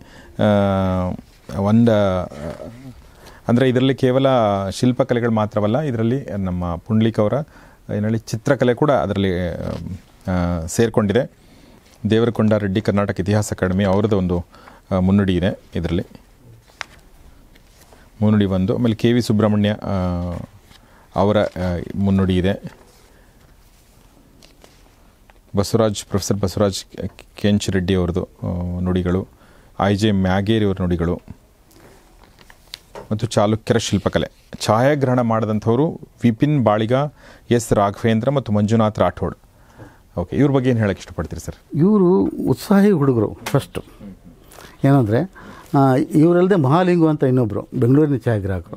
ಅವರು ಪುಸ್ತಕದಲ್ಲಿ ಹೆಸರು ಬರೋದೇನು ಬೇಡ ಅಂತಂದು ಈ ಥರದ ಉದಾರ ಮನೋಭಾವಿ. ಓಕೆ ಓಕೆ ಏನು? ಈ ನಾಲ್ಕು ಜನ ಈ ಪುಸ್ತಕ ಕೆಲಸ ಮಾಡಿದ್ದಾರೆ. ಅವರು ಉತ್ಸಾಹ ಏನಿತ್ತಲ್ಲ ಅದು ನನಗೆ ಬೇಕಾದಂಥ ಛಾಯಾಗ್ರಹಣ ಮಾಡಲಿಕ್ಕೆ ಅದು ನನಗೆ ಸಹಾಯ ಆಯಿತು. ಯಾಕಂದರೆ ಅವರು ಮೂಲತಃ ಅವರು ಸಾಫ್ಟ್ವೇರ್ ಇಂಜಿನಿಯರ್ಸ್ ಇಬ್ಬರು ವಿಪಿನ್ ಬಾಳಗ ಮತ್ತು ರಾಘವೇಂದ್ರ ಎಸ್ ಅವರು ಇದಾರಲ್ಲ ಅವರು ಮೂಲತಃ ಸಾಫ್ಟ್ವೇರ್ ಇಂಜಿನಿಯರ್ಸು ಅದ್ರ ಜೊತೆಗೆ ಈ ಶಿಲ್ಪಕಲೆ ಬಗ್ಗೆ ಆಸಕ್ತಿ ಇತ್ತು ಅವ್ರಿಗೆ. ಆಸಕ್ತಿ ಇತ್ತು ಹೀಗಾಗಿ ಅವ್ರನ್ನ ಈ ಇದಕ್ಕೆ ಎಲ್ಲ ಬಳಸ್ಕೊಂಡೆ. ಒಂದು ಮೂರು ಮೂರ್ನಾಲ್ಕು ಸಾರಿ ನಾವು ಬಾದಾಮಿಗೆ ಬೆಂಗಳೂರಿಂದ ಹೋಗಿದ್ದೀವಿ. ಒಂದು ಮೂರ್ನಾಲ್ಕು ದಿವಸ ಅಲ್ಲಿದ್ದು. ಅಲ್ಲೆಲ್ಲ ಅಲ್ಲಿ ಪರಿಸರ ಎಲ್ಲ ನೋಡಿ ಯಾವುದು ಚೆನ್ನಾಗಿದೆ ಅಂತ ನೋಡಿಕೊಂಡು ಛಾಯಾಗ್ರಹಣ ಸೀಸನ್ ವೈಸ್ ನಾವು ಫೋಟೋಗ್ರಫಿ ಮಾಡಿದ್ದೀವಿ ಸರ್. ಹೌದಾ? ಹೌದು. ಆ, ಮಳೆಗಾಲದಲ್ಲಿ ಬೇಸಿಗೆಯಲ್ಲಿ ಚಳಿಗಾಲದಲ್ಲಿ. ಯಾಕಂದರೆ ಒಂದೊಂದು ಸಮಯ ಪ್ರವಾಸಿಗಳಿಗೆ ಯಾವಾಗ ನೋಡಿದಾಗ ಒಂದು ಬೇರೆ ಥರ ಕಾಣ್ತಾ ಇರ್ತದೆ. ಯಾಕೆ ಅಂದರೆ ಆ ಸೀಸನ್. ಆ ಸೀಸನ್ ಇದೆಯಲ್ಲ ಆ ಸೀಸನ್ ವೈಸು ಅದು ಬಿಸಿಲಿಗೆ ಹೆಚ್ಚು ಪ್ರಖರವಾಗಿ ಬೆಳಕು ಅದು ಕಾಣ್ತೈತಿ. ಚಳಿ ಪ್ರದೇಶದೊಳಗೆ ತಂಪಾಗಿ ಆಹ್ಲಾದಕರವಾಗಿ ಕಾಣ್ತದೆ ಹೀಗಾಗಿ ಈ ಮಳೆಯಲ್ಲಿ ಅದು ನೆಂತು ಅಂದ್ರೆ ಅದು ವಿವರಗಳು ಕಾಣ್ತದೆ. ಮಳೆ ನೀರು ಅದರ ಶಿಲ್ಪಗಳ ಮೇಲೆ ಬಿದ್ದಾಗ ಆ ಹೆಚ್ಚು ವಿವರಗಳು ಶಿಲ್ಪ ಶಿಲ್ಪಿ ಏನೇನು ಕುಸರಿ ಕೆಲಸ ಮಾಡಿದ್ದಾನಲ್ಲ ಅದೆಲ್ಲ ತಿಳಿತಿದೆ. ಎಲ್ಲಕ್ಕಿಂತ ಹೆಚ್ಚು ಈ- ಈ ನನ್ನನ್ನು ಆಕರ್ಷಿಸಿದ್ದು ಅಂದರೆ ಚಾಲುಕ್ಯ ಶಿಲ್ಪಕಲೆಯಲ್ಲಿ ಅನಾಟಿಕಮಲ್ ಪ್ರಜ್ಞೆ ಭಾಳ ದೊಡ್ಡದಿದೆ. ಯಾವ ಪ್ರಜ್ಞೆ ಸರ್? ಅನಾಟಿಕ್ ಅನಾಟಮಿಕಲ್. ಅನಾಟಮಿಕಲ್ ಅಂದರೆ ದೇಹ ರಚನೆ. ದೇಹ ರಚನೆ ಇದೆಯಲ್ಲ? ತುಂಬ ಕರಾರುವತ್ತಕ್ಕಾದಂಥ ಏನೋ ಸೃಷ್ಟಿ ಇದರಲ್ಲಿ ಆಗಿದೆ. ಆಗಿನ ಶಿಲ್ಪಿಗಳನ್ನು ನಾವು ಮೆಚ್ಕೊಳ್ಳೇಬೇಕು. ಯಾಕಂದ್ರೆ ಬಾಡಿ ಚಲನೆ ಆನಂತರ ಅದರ ಧಿಯೋದಾತತೆ ಅದೆಲ್ಲ ತುಂಬ ಚೆನ್ನಾಗಿ ಅಭ್ಯಾಸ ಮಾಡಿದ್ರು. ಅದನ್ನು ಶಿಲ್ಪಗಳಲ್ಲಿ ಒಡಮೂಡಿಸಿದ್ದಾರೆ. ಅದನ್ನು ನೋಡೋದೇ ಒಂದು ಚಂದ. ಈಗ ರೈತ ಜೋಡಿಗಳು ಇದಾವೆ ಅದರಲ್ಲಿ. ಕಚ್ಚಿ ಹಾಕ್ಕೊಂಡು ದೋತ್ರ ಕಚ್ಚಿ ಹಾಕ್ಕೊಂಡಿದ್ದು ಇದೆ. ಹೌದು ಮತ್ತು ಸೈನಿಕ ಬಗಲಲ್ಲಿ ಒಂದು ಏನೋ ಚೂರಿ ಇದನ್ನು ಏನೋ ಚಾಕು ಇದು ಏನಂತೀರಿ ಅಸ್ತ್ರ ವಸ್ತ್ರವನ್ನು ಇಟ್ಕೊಂಡಿದ್ದಂಥ ಇದೂ ಇದೆ. ರಾಜ ಟಿ ವಿಯಿಂದ ಕುತ್ಕೊಂಡಂಥ ಇದು ಇದೆ. ಅದು ಟಿ ವಿಯಿಂದ ಮತ್ತು ಪ್ರಣಯದಲ್ಲಿ ತೊಡಗಿದಂಥ ಅಲ್ಲಿ ಗಂಭೀರಾತ್ಮಕವಾಗಿ. ಪ್ರಣಯಿನಿ ಜೊತೆಗೆ ಮಾಡಿದಂಥ ಅವು ಕೂಡ ಇದ್ದಾವೆ ಈ ವಿಷ್ಣು ಮತ್ತು ಶಿವ ಮತ್ತು ಬ್ರಹ್ಮ ಹರಿಹರ ದುರ್ಗೆ ಇವರೆಲ್ಲ ಶಿಲ್ಪಗಳು ಭಾಳ ಮುಖ್ಯ ಶಿಲ್ಪಗಳು ಅಲ್ಲಿ. ಅದ್ರ ಜೊತೆ ಜೊತೆಗೆ ಜನಸಾಮಾನ್ಯ ಶಿಲ್ಪಗಳು ಇದ್ದಾವೆ ಅಂತ ನಾನು ಹೇಳಿಕ್ಕೆ ಬಯಸ್ತೀನಿ. ಸೊ ನಾವು ಏನೇಳಿ ಹೇಳಿ ವಿಪಿನ್ ಎಸ್ ಬಾಳಿಗ ಎಸ್ ರಾಘವೇಂದ್ರ ಮಂಜುನಾಥ್ ರಾಠೋಡ್ ಅವರಿಗೆ ಥ್ಯಾಂಕ್ಸ್ ಹೇಳಬೇಕು ಈ ಥರ ಇನ್ನೊಬ್ರು ಹೇಳಿದ್ರಿ ನೀವು? ಮಹಾಲಿಂಗು ಅಂತ. ಮಹಾಲಿಂಗು ಅಂತ. ಅವ್ರಿಗೂ ಕೂಡ ಥ್ಯಾಂಕ್ಸ್ ಹೇಳಬೇಕು ಯಾಕಂದ್ರೆ ಅದ್ಭುತವಾದ ಚಿತ್ರಗಳನ್ನ ಅವರು ಕೊಟ್ಟಿದ್ದಾರೆ. ನೀವು ಸ್ಕ್ರೀನ್ ಮೇಲೆ ನೋಡ್ತಾ ಇದ್ದೀರಾ ಯಾವ ಥರ ಚಿತ್ರಗಳನ್ನ ಕೊಟ್ಟಿದ್ದಾರೆ ಅಂತೇಳಿ ಇದರಲ್ಲಿ ಏನಿದೆ ಅನ್ನೋದ್ರ ಬಗ್ಗೆ ಒಂದು ಚಿಕ್ಕದಾಗಿ ನಾನು ಸುಮ್ಮನೆ ಪರಿಬಿಡಿ ಒಂದಷ್ಟು ಗಮನಿಸ್ತೀನಿ ಸೊ ದಟ್ ಅವ್ರಿಗೆ ಏನು ನೆನಪು ಬರುತ್ತೆ ಅದನ್ನು ನೋಡ್ತಾ ಇದ್ದರೆ ಅಂತ ಹೇಳ್ಬೋದು. ನಾನು ಈಗಾಗಲೇ ಹೇಳಿರುವಾಗೆ ಇದರಲ್ಲಿ ಬಾದಾಮಿ ಐಹೊಳೆ ಪಟ್ಟದಕಲ್ಲು ಮತ್ತು ಮಹಾಕೂಟ. ಈ ನಾಲ್ಕು ಸ್ಥಳಗಳ ಶಿಲ್ಪಗಳನ್ನು ಅಧ್ಯಯನ ಮಾಡಿ ಫೋಟೋಗಳ ಸಮೇತ ಇದನ್ನು ಇಲ್ಲಿ ಕೊಟ್ಟಿದ್ದಾರೆ. ಅದ್ರ ಜೊತೆಗೆ ಅಲ್ಲಿ ಸುತ್ತಮುತ್ತ ಇರುವಂಥದ್ದು ಒಂದಷ್ಟು ಏನು ಹೇಳಿ ಸಿದ್ದನಕೊಳ್ಳ ಈ ಥರದ್ದು ನಾಗನಕೊಳ್ಳ, ನಾಗನಾಥ ದೇವಾಲಯ, ಮೂಲ ಮಹಾಕೂಟ. ಸೊ, ಹೀಗೆ ಭಾಳಷ್ಟು ವಿಚಾರಗಳನ್ನ ಇದರಲ್ಲಿ ಹೇಳಿದ್ದಾರೆ. ಸೊ, ನಾನು ಸುಮ್ಮನೆ ಹಿಂಗೆ ಗಮನಿಸ್ತಾ ಹೋದರೆ ಅಂದರೆ ಚಾಲುಕ್ಯರು ನೋಡುತ್ತಲೇ ಗೆಲ್ಲುವ ಚತುರರು, ಚರಿತ್ರೆ ಇಣುಕು ನೋಟ ಬಾದಾಮಿಯ ಗುಹಾಲಯಗಳು, ಪವರ, ಪರಶಿವನ ಆನಂದೋನ್ಮಾದ, ಮೊದಲನೇ ಗುಹಾಲಯ, ಶಿವನ ಆಡುಂಬೋಲ, ಎರಡನೇ ಗುಹಾಲಯ, ವಿಷ್ಣುವಿನ ಮಾಯಾಜಾಲ, ಕೀರ್ತಿಮುಖ, ಕೀರ್ತಿಯ ದ್ಯೋತಕ, ಇದು ಬಾದಾಮಿನಲ್ಲಿ. ಐಹೊಳೆನಲ್ಲಿ, ಅಂದರೆ ಇನ್ನೂ ಬಹಳಷ್ಟಿದೆ, ನಾನು ಸುಮ್ಮನೆ ಸ್ವಲ್ಪ ಓದ್ದೆ. ಐಹೊಳೆನಲ್ಲಿ ದೇವಾಲಯಗಳ ಹುಚ್ಚು ಹೊಳೆ ಐಹೊಳೆ. ಹುಚ್ಚುಮಲ್ಲಿ ಗುಡಿ ಹುಚ್ಚು ಪ್ರೇಮಿಗಳ ಮೊದಲ ಶಿಲ್ಪ ಸರಣಿ ಚಿಕ್ಕಿಗುಡಿ ದುರ್ಗಾ ದೇವಾಲಯ ಗರುಡನ ಮಾತೃಭಕ್ತಿಯ ಕಥೆ ಪಾನಮತ್ತ ಪಾರ್ವತಿಯ ಸರಣಿ ಬಿಂಬ. ಹೌದಾ ಸರ್? ಶಿವಪಾರ್ವತಿಯವರು ಅಂದರೆ ಪಾನ ಮತ್ತ ಮತ ಅಂತಂದರೆ ಇವತ್ತು ನಿನ್ನೆದಲ್ಲ ಮಧುಪಾನ ಅನ್ನುವಂಥದ್ದು. ಈಗ ಅಮೃತ ಮತನ ಯಾವುದಕ್ಕಾಗಿದ್ದು ಹೌದು ಹೌದು. ಅಲ್ಲಿಂದ ಶುರು ಆಗ್ತದೆ ಅದು ಅಲ್ಲಿಂದ ಶುರು ಕತೆ ಶಿವ ಏನು ಪಾರ್ವತಿ ಸ್ವಲ್ಪ ತಗೊಳ್ತಾ ತಗೊಳ್ತಾ ಸ್ವಲ್ಪ ಜಾಸ್ತಿ ತಗೊಂಡಿರುವಂಥದ್ದು ಆ ಸಂದರ್ಭದಲ್ಲಿ ಅದನ್ನು ನಿಭಾಯಿಸ್ತಾರೆ. ಆ ನಿಭಾಯಿಸುವಂಥ ಸರಣಿ ಶಿಲ್ಪಗಳೇ ಇದೆ. ಅದು ದುರ್ಗಾ ದೇವಾಲಯದ ಐಹೊಳೆಯ ದುರ್ಗಾ ದೇವಾಲಯದಲ್ಲಿದೆ. ಏನ್ ಸರ್? ಓಕೆ ನೀವು ಹೇಳಿದ್ಮೇಲೆ ಅದನ್ನು ನೋಡ್ಬೇಕು ಅನಿಸ್ತಾ ಇದೆ. ಪಾರ್ವತಿ ಓಕೆ ಇದು ಹ್ಞೂ ಹ್ಞೂ ಹ್ಞೂ ಹ್ಞೂ ವಂಡರ್ಫುಲ್ ಅದನ್ನು ನಿಭಾಯಿಸ್ತಾರೆ ನೋಡಿ ಅದು ನಾವು ಹೆಂಗೆ ನಾವು ಈ ಜನಸಾಮಾನ್ಯರಿಗೂ ಅವರಿಗೂ ಭಾಳ ವ್ಯತ್ಯಾಸ ಇಲ್ಲ ಅಂತಂದು. ಅದು ಗೊತ್ತಾಗ್ತದೆ ಅದು. Okay okay okay. ಮತ್ತು ಅದು ಆ ಕಾಲದ ದೌರ್ಬಲ್ಯ ಏನು ಆಗಿರಲಿಲ್ಲ ಅದು. ಇವಾಗ ದೌರ್ಬಲ್ಯ ಅಂತ ಪರಿಗಣಿಸಲಾಗ್ತಿದೆ. ದೌರ್ಬಲ್ಯ ಅದು ಅದು ಅದೊಂದು ಆನಂದದ ಒಂದು ಸಂತೋಷ ಸಂಗತಿ. ಅದು ಮಿತಿ ಮೀರಿದಾಗ ಅಷ್ಟೇ ಅದು ದೌರ್ಬಲ್ಯದ ಸಂಕೇತ ಆಗ- ಆಗುತ್ತೆ ಹೊರತು. ಅದು ಎಷ್ಟು ಅಷ್ಟು ಇದು ಇರಬೇಕು ಅಂತ ಸ್ಫೂರ್ತಿಯಾಗಿರಬೇಕು ಅಂತಂದು. ವಂಡರ್ಫುಲ್ ಸೊ ನೋಡಿ ಅಂದ್ರೆ ಒಂದೊಂದು ಶೀರ್ಷಿಕೆ ಹೋದ್ರೆ ಅದರಲ್ಲಿ ಒಂದೊಂದು ಕಥೆ ಇದೆ ಅಂತ ಅನ್ಸುತ್ತೆ. ಹುಚ್ಚಮಲ್ಲಿ ಗುಡಿ ಅನ್ನೋದು ತುಂಬಾ ಫೇಮಸ್ ಅಲ್ಲ ಸರ್? ಹೌದು ಸರ್ ಹುಚ್ಚುಮಲ್ಲಿ ಗುಡಿ ಅಂತಂದರೆ ಹುಚ್ಚುಮಲ್ಲಿ ಪ್ರಣಯ ಸರಣಿಗಳಿದೆ. ಅಂದರೆ ಅಲ್ಲಿ ಆರು ಏನು ಏನೋ ಮುಖ್ಯ ಶಿಲ್ಪಗಳು ಇದ್ದಾವೆ ಅದು ಸಾಮಾನ್ಯ ಇರೋದು ಅವನು ಬಂದು ಫಸ್ಟ್ ಪ್ರಪೋಸಲ್ ಮಾಡ್ತಾನೆ ಹುಡುಗಿಗೆ. ಅದು ಸುಮಾರು ಒಂದು ಐದು ಅಡಿ ಎತ್ತರದ ಶಿಲ್ಪಗಳು. ಉಚ್ಚಮಲೆ ಗುಡಿ ಸುತ್ತ ಮುಂಬ ಮುಂಭಾಗದಲ್ಲಿದ್ದಾವೆ. ಮೊದಲೇ ಮೊದಲನೇದ್ದು ಏನಿದೆ ಅಂದರೆ ಪ್ರಪೋಸಲ್ ಮಾಡುವಂಥದ್ದು ಒಂದು. ಆ ನಂತರ ಪ್ರಪೋಸಲನ್ನು ಇವ ಏನು ಅವಳು ಸ್ವೀಕರಿಸಿದ ಮೇಲೆ ಹೂ ಗುಲಾಬಿ ಹೂ ಕೊಡ್ತಾ ಕೊಡುವಂಥದ್ದು ಸನ್ನಿವೇಶ ಇದೆ ಅದು. ಆ ನಂತರ ಅವಳು ಸ್ವೀಕಾರ ಮಾಡ್ತಾಳೆ. ಸ್ವೀಕಾರ ಮಾಡಿ ಸ್ವಲ್ಪ ಅವಳೇ ಸ್ವಲ್ಪ ಹೆಚ್ಚು ಮುಂದುವರಿತಾಳೆ. ಇವನು ಪ್ರಪೋಸ್ ಮಾಡಿದ್ದು ಅಷ್ಟಕ್ಕೆ ಅಷ್ಟೇ ನಿಜ. ಸ್ವಲ್ಪ ಮುಂದುವರಿತಾಳೆ. ಏನೋ. ಮುಂದು ಮುಂದುವರೆದು ಅವಳು ಅವಳು ಎದೆಗೆ ಕೈ ಹಾಕಿ ಕೈ ಹಾಕಿದಂಥ ಮತ್ತು ತೊಡೆಗೆ ಕೈ ಹಾಕಿದಂಥ ಶಿಲ್ಪ ಇದೆ. ತಾವು ಗಮನಿಸಿದ ಸರ್. Okay okay okay. ಏನೋ. ಆ ನಂತರ ಅವಳು ಮುಂದುವರಲಲ್ಲ ಅಂತ ಇವನು ಎಷ್ಟು ಹುಚ್ಚನಾಗ್ಬಿಡ್ತಾನೆ. ಇರೋ ಬರೋ ಸಂಪತ್ತೆಲ್ಲ ತಂದು ಅವಳಿಗೆ ಸುರಿತಾನೆ. ಅವಾಗ ಅವನು ಕತ್ತೆ ಆಗ್ಬಿಡ್ತಾನೆ. ಕತ್ತಿ ಆಗ್ತಾನೆ? ಕತ್ತೆ ಕತ್ತೆ. ಅಂದರೆ ಪ್ರಣಯದಲ್ಲಿ ಪ್ರಣಯ ಅಂತ ಅನ್ನುವಂಥದ್ದಿಲ್ಲ ಹೆಣ್ಣು ಅಂತಳು ಅವಳು ಮಾಯಾವಿನಿ ಅನ್ನುವಂಥದ್ದು. ಮಾಯಾವಿನಿ ಅಂತ ಮೋಹದ ಜಾಲಕ್ಕೆ ಇವನು ಸಿಕ್ಕೋತಾನೆ. ಇದು ಅವಳ ನೈಜ ರೂಪ ಅದು. ಅವನು ಸಿಕ್ಕಕೊಂಡಾಗ ಅವನು ಕಾಣಿಕೆ ಕೊಟ್ಟು ಇದು ಮಾಡ್ತಾನೆ. ಅವನು ಹುಚ್ಚನನ್ನಾಗಿ ಮಾಡ್ತಾಳೆ. ಪ್ರೇಮದ ಹುಚ್ಚು ನನ್ನ ಅವನ ಬಟ್ ಹುಚ್ಚು ಮಲ್ಲಿ ಅಲ್ಲ ಇಲ್ಲಿ. ಅಂದರೆ ಅಂದರೆ ಅವಳು ಹುಚ್ಚಿನೇ ಫಸ್ಟು ಅವಳು ಬೇರೆಯವ್ರಿಗೆ ಕೂಡ ಹುಚ್ಚಿರಿಸ್ತಾಳೆ ಬೇ ಬೇರೆ ಹುಡುಗರಿಗೆ ಕೂಡ. ಅದು ಮೂರನೇ ಇದು ಇದೆ ನಾಲ್ಕನೇದು ಇದೆ ನೋಡಿ ಕೊನೆಯದು ಶಿಲ್ಪ ಇದೆ ಅಂತ ತಾವು ದಯವಿಟ್ಟು ಯಾರಾದರೂ ಹೋದವ್ರು ಗಮನಿಸಬೇಕು. ಅಲ್ಲಿ ಭಾಳ ಪ್ರೀತಿಯಿಂದನೇ ಅವ- ಅವಳ ಶಿರವನ್ನು ಛೇದಿಸ್ತಾಳೆ. ಹೂವಿನ ಇದರಿಂದ ಅಲ್ಲಿ ಕೊನೆಗೆ ಇದೆ ಇದೆ ನೋಡಿ. ಜಸ್ಟ್ ಇದು ಪ್ರಪೋಸಲ್ ಮಾಡ್ತಾಳೆ. ಏನು? ಅವನನ್ನು ವಿಶ್ವಾಸಕ್ಕೆ ತಗೊಳ್ತಾಳೆ. ಅವ ತಗೊಂಡಾಗ ಅವನು ಎಲ್ಲ ದಾರ ಎರಿತಾನೆ ಇಲ್ಲಿ ಇಲ್ಲಿ ನೋಡಿ. ಅವನು ಈಗ ಮುಂದುವರೆಯಕ್ಕೆ ಪ್ರೇರೇಪಣೆ ಮಾಡ್ತಾಳೆ. ಹುಚ್ಚನನ್ನಾಗಿ ಮಾಡ್ತಾಳೆ. ಇಲ್ಲಿ ನೋಡಿ. ಇಲ್ಲಿ. ಈ ಶಿರ ಕಿತ್ಕೊಂಡು ಈ ಕಡೆ ಬಂದಿದೆ. ಅವಳ ಶಿರ ಅವಳು ಅವಳದಲ್ಲ ಅವಂದು. ಅವಂದು ಕೈಯಲ್ಲಿ ಹೂವಿನ ಹರ ಇದೆ. ಓಕೆ ಓಕೆ ಓಕೆ ಹಾಂ ಹೂವಿನ ಗುಚ್ಚ ಓಕೆ ಓಕೆ ಅಂದರೆ ಹೋಗಿಬಿಡುತ್ತೆ ಅಂತಂದು ಅಲ್ಲ ಅಲ್ಲಿ. ಓಕೆ ಓಕೆ ಏನೋ. ಅದು ಏನಾಗುತ್ತೆ ಅಂದರೆ ಅವನು ಅಷ್ಟೊಂದು ತನ್ನನ್ನು ಅರ್ಪಿಸ್ಕೊಂಡ್ಬಿಡ್ತಾನೆ. ಅದು ಏನೇ ಆಗ್ಬಿಡ್ಲಿ ಅಂತಂದು. ಇದು ಪರಕಾಷ್ಠೆ ಪ್ರೇಮದ ಪರಕಾಷ್ಠೆ. ಇದು ಶಿಲ್ಪ ಸರಣಿ ಐಹೊ- ಐಹೊಳೆಯಲ್ಲಿ ತುಂಬ ಇದ್ದಾವೆ ನೀವು ಯಾವ ದೇವಾಲಯಕ್ಕೆ ಹೋದರೂ ಮುಂದೇನು ಕಂಬಗಳಿದಾವಲ್ಲ ಅಲ್ಲಿ ನಿಮಗೆ ಅವು ಕಾಣ್ತವೆ. ಸೊ ಯಾ ನಾವು ಅಲ್ಲಿ ಅಲ್ಲಿ ಅಲ್ಲಿ ಭಾಳ ಮುಖ್ಯವಾಗಿ ಅಲ್ಲಿ ಅದು ಉಚ್ಚಮಲ್ಲಿ ದೇವಾಲಯ ಇದೆ ಅಲ್ಲ ಸರ್? ಅಲ್ಲಿ ಭಾಳ ಮುಖ್ಯವಾಗಿ ಅಂಗಭೋಗ ಮತ್ತು ರಂಗಭೋಗ ಅನ್ನುವಂಥ ಎರಡು ಭಾಳ ಮುಖ್ಯ ಕಾರ್ಯಕ್ರಮಗಳು ಅಲ್ಲಿ ನಡೀತಾ ನಡೀತಾ ಇದ್ವು. ಈ ನಮ್ಮಲ್ಲಿ ಅದು ಚಾಲ್ತಿ ಇತ್ತು. ಅಲ್ಲಿ ಮಾತ್ರ ಅಲ್ಲ ಎಲ್ಲ ಕಡೆ ಎಲ್ಲೆಲ್ಲಿ ನೀವು ರಂಗಮಂಟಪವನ್ನು ನೋಡ್ತೀರಿ? ಈ ನೃತ್ಯ ಮಾಡುವಂಥ ಒಂದು ರೌಂಡ್ ಆದಂಥ ಒಂದು ವೇದಿಕೆ ನೋಡ್ತೀರಿ ಅದೇ ಕೆಲವು ದೇವಸ್ಥಾನದಲ್ಲಿ. ಅಲ್ಲಿ ಅಲ್ಲಿ ಏನಾಗುತ್ತೆ ಅಂದರೆ ರಂಗಭೋಗ ನಡೀತಿತ್ತು ಅಂತ. ರಂಗಭೋಗ ಅಂದರೆ ನಾಟ್ಯ ಕಲೆಗೆ ಭಾಳ ದೊಡ್ಡ ಪ್ರೋತ್ಸಾಹ. ಅಲ್ಲಿ ನಡೀತಿತ್ತು. ಅಂದರೆ ನಾಟ್ಯವನ್ನು ಮಾಡೋರು ಬೇರೆ ನಾಟ್ಯ ಮಾಡೋರನ್ನ ಸಹಾಯಕಿಯರು ಬೇರೆ. ಅಂದರೆ ಕಂಬದ ಸೂಳೆಯರು ಅಂತ ನಂತಿದ್ರು ಅವ್ರಿಗೆ. ಅಂದರೆ ಈ ಶಬ್ದವನ್ನು ದಯವಿಟ್ಟು ಅಂತ ಭಾವಿಸ್ಬಾರ್ದು. ಆ ಕ ಇವಾಗ ನಾವು ಅದನ್ನ ತಪ್ಪಾಗಿ ಭಾವಿಸ್ತಾ ಇದ್ದೀವಿ ಅದು ಭಾಳ ಉನ್ನತವಾದಂಥ ಪಟ್ಟ ಆಯಿತು ಹ್ಮ್ ಹ್ಮ್ ಹ್ಮ್. ಅದು ಹನ್ನೊಂದನೇ ಶತಮಾನದ ನಂತರ ಅದು ಸೊಳೆಯರು ಅನ್ನೋ ಶಬ್ದ ಬರ್ತದೆ. ಅಲ್ಲಿವರೆಗೂ ಅದು ಪರಿಚಾರಿಕೆಯರು ಈ ಥರ ನಾಟ್ಯದ ಏನು ಸೇವೆ ಸಲ್ಲಿಸುವವರು ಅಂತಂದು ಬರ್ತಾಯಿತ್ತು ಅಲ್ಲಿ ಒಂದೊಂದು ಕಂಬಕ್ಕೆ ಒಬ್ಬೊಬ್ಬರು ಒಂದೊಂದು ಮನಿತವರದವರು ನಿಂತ್ಕೊ ನಿಂತ್ಕೋತಿದ್ರು. ಅವ್ರು ಅದಕ್ಕಾಗಿಯೇ ಮೀಸಲು. ದೇವರಿಗಾಗಿ ಅರ್ಪಿಸ್ಕೊಂಡವ್ರು ಅವರು. ದೇವದಾಸಿಯರು ದೇವದಾಸಿಯರು ಅಲ್ಲ ಓಕೆ ದೇವದಾಸಿಯರೇ ಅಂದರೆ ದೇವರಿಗೆ ಅರ್ಪಿಸ್ಕೊಂಡವರು ಅಂತ. ದೇವದಾಸಿಯರ ಇವತ್ತಿನ ಅರ್ಥದಲ್ಲಿ ದೇವದಾಸಿಯರ ನಮ್ಮ ಕಲ್ಪನೆ ಬೇರೆ ಕಡೆ ಹೋಗ್ಬಿಡ್ತಾರೆ ಅದು ಆಗಬಾರ್ದು ಹಂಗಾಗಬಾರ್ದು ಅನ್ನೋದಕ್ಕೆ ನಾನು ಇದನ್ನು ಮತ್ತೆ ಮತ್ತೆ ಹೇಳ್ತೀನಿ. ಹಾಗೆ ಆಗಲ್ಲ ಅದು. ದೇವರಿಗೆ ದೇವರಿಗೆ ದಾಸರು. ಇವರು ದೇವರಿಗೆ ದಾಸರು. ಹೆಂಗೆ ಅಂದರೆ ತಮ್ಮ ಕಲೆಯನ್ನೆಲ್ಲ ದೇವರಿಗೇ ಮೀಸಲು. ಕೆಲವೇ ಕೆಲವು ದೇವಾಲಯಗಳು ಮಾತ್ರ ದೇವಾಲಯಗಳಲ್ಲಿ ಮಾತ್ರ ರಾಜಪರಿದವಾರದವರು ಬಂದು ಕೂತ್ಕೊಳ್ಳಿಕ್ಕೆ ಅಲ್ಲಿ ಅವಕಾಶ ಐತಿ.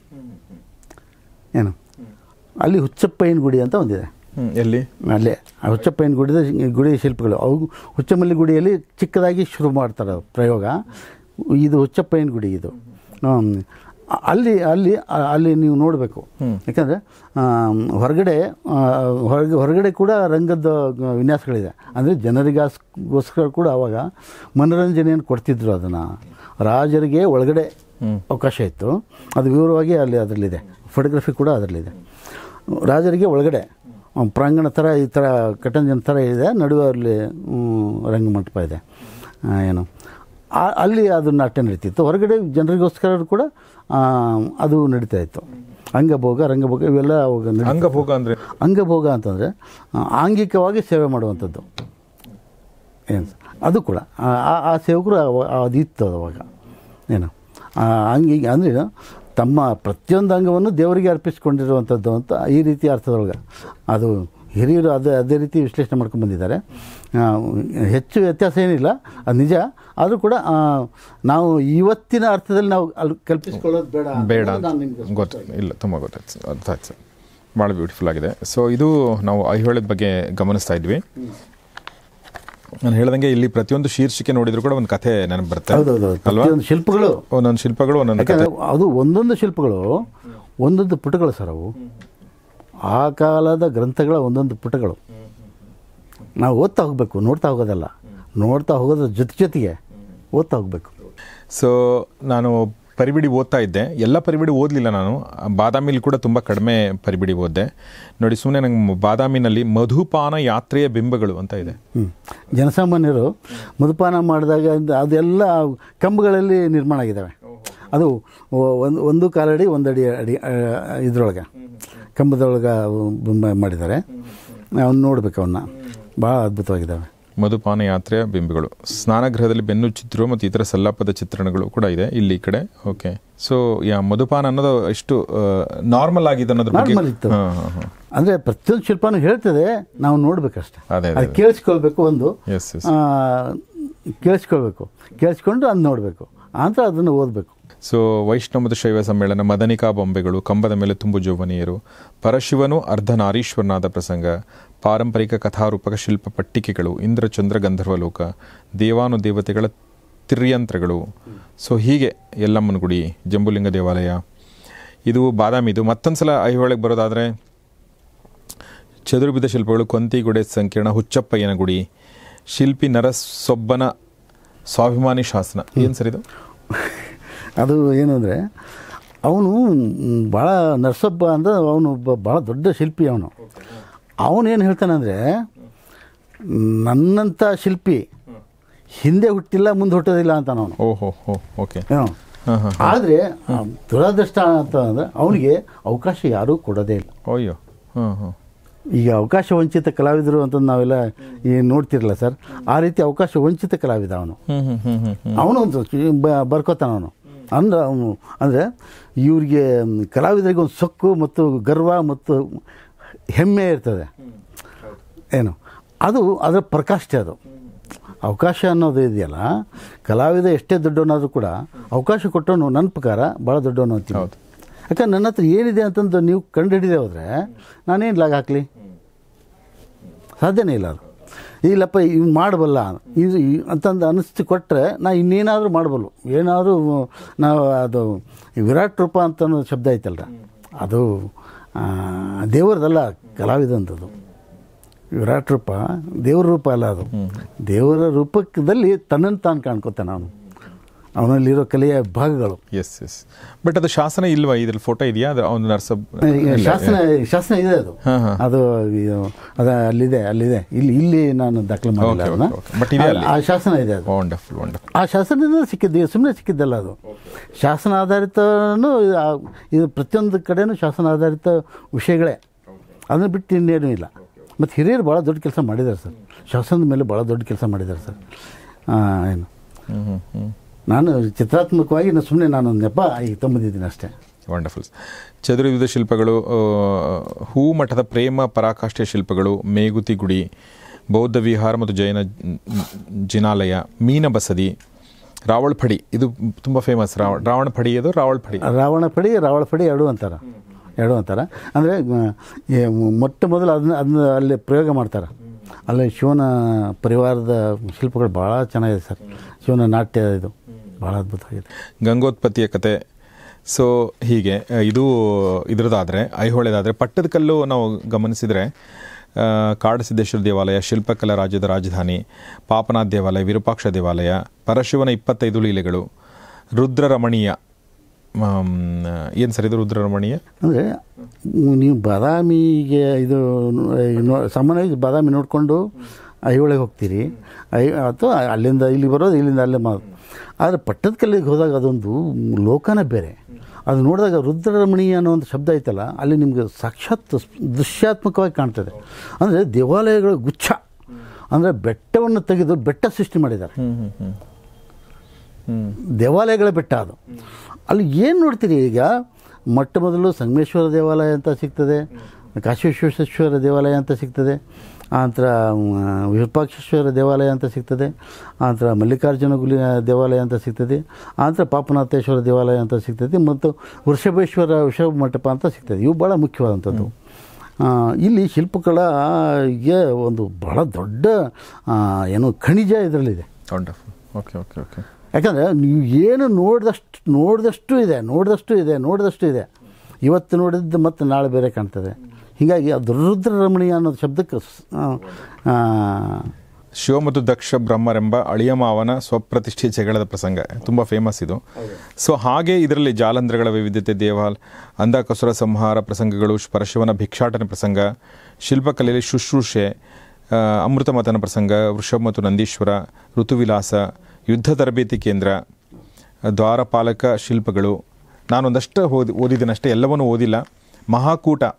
ಅಲ್ಲೇನಿದೆ ಮಹಾಕೂಟದ ಕಥೆ ಅರ್ಧನಾರೀಶ್ವರ ಶಿಲ್ಪಗಳು, ಲಿಂಗ ಭಗವಂತ ವಿವರಗಳು ಊರ್ಧರ್ ಯತೇಶ್ವರ ಸೊ, ಅದರ ನಂತರ ಸಿದ್ಧನಕೊಳ್ಳ ಹೀಗೆ ಸುಮಾರು ವಿಚಾರಗಳನ್ನ ನಮ್ಮ ಪುಂಡ್ಲಿಕ್ ಅವರು ಬರೆದಿದ್ದಾರೆ.